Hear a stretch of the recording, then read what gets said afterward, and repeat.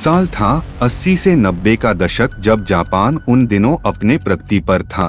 एक तरफ़ जापान के कुछ भाग अभी अभी वर्ल्ड वार से उभरे ही थे, कि वहाँ के कई हिस्सों से कुछ अजीब खबरें आने लगी। खबरें ऐसी जो लोगों को डरा देती और उनमें एक लड़की का ज़िक्र होता जो छोटे बच्चों को मार देती और उसका नाम था हानाको सान इसका खौफ जापान के बच्चों में इतना था, कि वो टॉयलेट जाने से भी डरते थे। उन दिनों हाना को सान से मरने की खबर पूरी जापान में फैल रहा था। जब भी कोई टॉयलेट में जाता तो ये हाना को सान उसको टॉयलेट के अंदर ही बुरी तरह से मार देती। ये कहानी शुरू होती है तब जब तब हानाको सैन अपने स्कूल में पढ़ती थी, तब बहुत से बच्चे उससे चिढ़ाते थे क्योंकि वो एक गरीब परिवार से थी।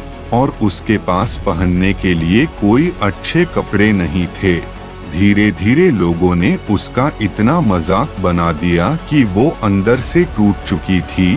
फिर एक दिन तो हद हो गई, जब हाना को सान टॉयलेट गई थी और कुछ शरारती बच्चों ने उसको टॉयलेट के अंदर ही बंद कर दिया। फिर वो चलाती रही, चीखती रही कि कोई उसको अंदर से निकाले पर कोई शायद उसकी आवाज़ सुन न पाया और जब स्कूल को सुबह में खोला गया तो हाना को सान की लाश मिली उसी टॉयलेट से।